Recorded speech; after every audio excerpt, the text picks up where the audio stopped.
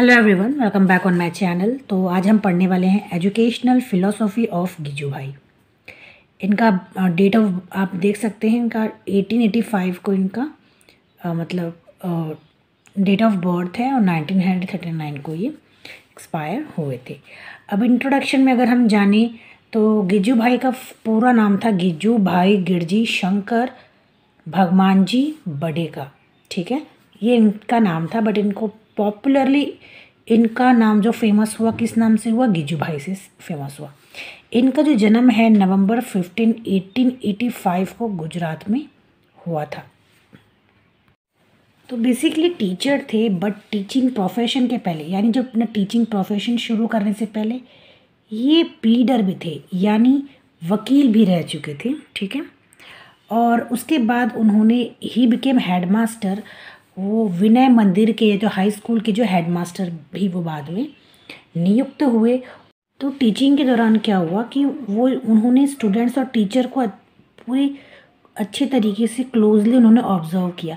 इसके बाद वो जो एजुकेशन से एजुकेशन जिस तरीके से बच्चों को दिया जाता था, उससे वो संतुष्ट नहीं थे। सेटिस्फाइड नहीं थे, इसके बाद उन्होंने क्या किया? रिज़ाइन कर दिया हाई स्कूल से और उन्होंने अपना खुद का स्कूल बाल मंदिर जो है उसका निर्माण किया, जिसमें कि जो तीन साल के जो बच्चे हैं उनको एजुकेशन दी जाती थी, क्योंकि उस समय क्या होता था, ये बहुत, यानी 1885 का जो दौर था, उसमें क्या होता था कि जो बच्चे हैं, उनको छः साल के बाद ही स्कूल में भेजा जाता था। इसीलिए उन्होंने क्या किया कि जो उससे जो छः साल से जो छोटे बच्चे हैं, उनके लिए भी उन्होंने स्कूल बनाया, जिसका नाम उन्होंने क्या रखा, बाल मंदिर। बाल मंदिर वॉज़ इस्टेब्लिश्ड बाय गिजू भाई इन 1920 को इसका इस्टेब्लिशमेंट हुआ किसके द्वारा? गीजू भाई के द्वारा। यहाँ पे आप उनकी कुछ फ़ेमस बुक्स देख सकते हैं।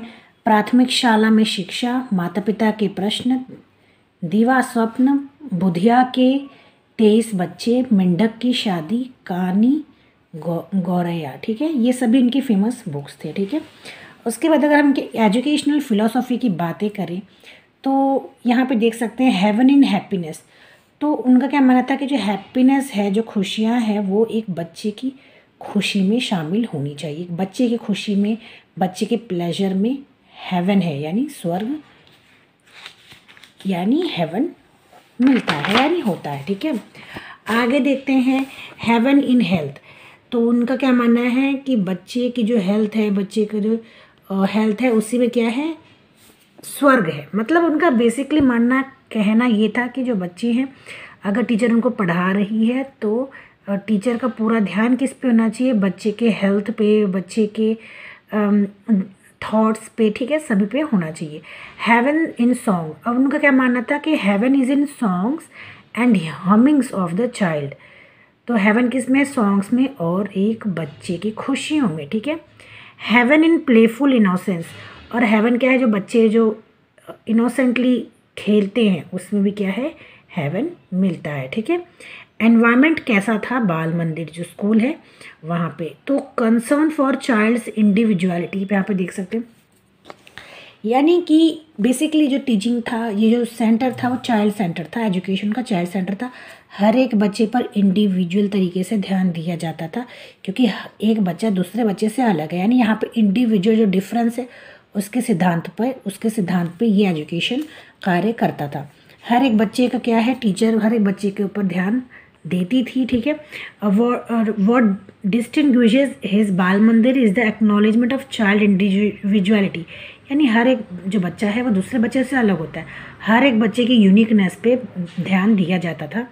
और it does not considered him as a mini miniature adult this implies that a child's individuality यानी हर एक जो बच्चा है, उसकी जो इंडिविजुअलिटी है, उसको रिस्पेक्ट मिलना चाहिए, ठीक है?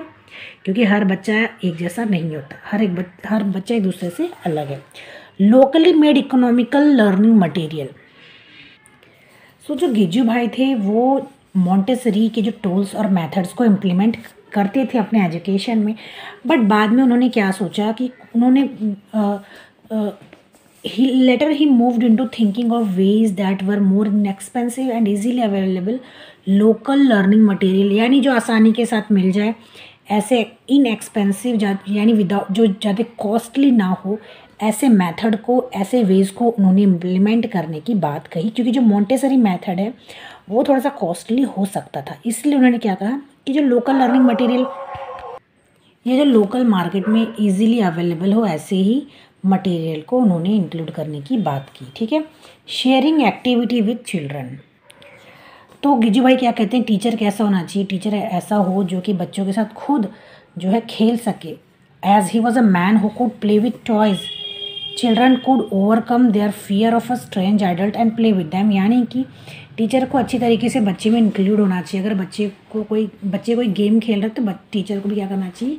साथ ही बच्चों के इंक्लूड होना चाहिए, जिससे कि जो बच्चे के अंदर जो डर होता है एक टीचर को लेके वो कम हो हो जाएगा, ठीक है? और वो साथ ही साथ बच्चों को स्टोरी सुना सके। केवल किंग और क्वीन की ही नहीं बट ऑल्सो ऑफ़ एनिमल्स जानवरों की प्लांट्स की और ठीक है, इस तरीके से वो कहानी सुना सके।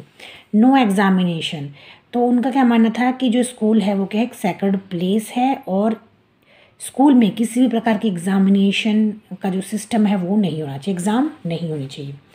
मैथड ऑफ़ टीचिंग तो यहाँ पे देख सकते हैं। Play way method story telling method field trip method recitation method dramatic method curriculum इन्होंने कौन सा ऐड किया था?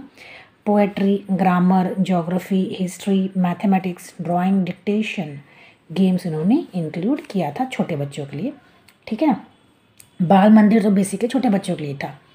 टीचर देख सकते हैं तो उनका क्या मानना था कि टीचर को टीचर एक केवल एक गाइड के तौर पर और एक एडवाइस के तौर पर ही होना चाहिए। आगे देख लेते हैं। आगे है चाइल्ड तो बेसिकली ये जो एजुकेशन है इनका गिजू भाई का, ये बेसिकली चाइल्ड सेंटर्ड ही एजुकेशन है। उनका क्या मानना है वो क्या मानते हैं कि जो चाइल्ड है वो क्या होता है? गॉड की तरह होता है, ठीक है?